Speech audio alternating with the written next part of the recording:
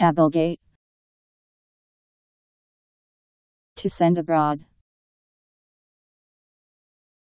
A B L E G A T E. Ablegate.